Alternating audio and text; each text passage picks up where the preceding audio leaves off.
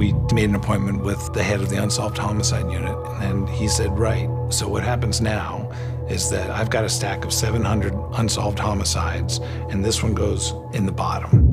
And we said, Yeah, but you don't understand. This never has been investigated. In the 80s and 90s, there was a huge amount of homophobia, and that was the norm. I've been bashed twice. There really was an incredibly violent period when kids were beating and killing gay men. I was battered badly.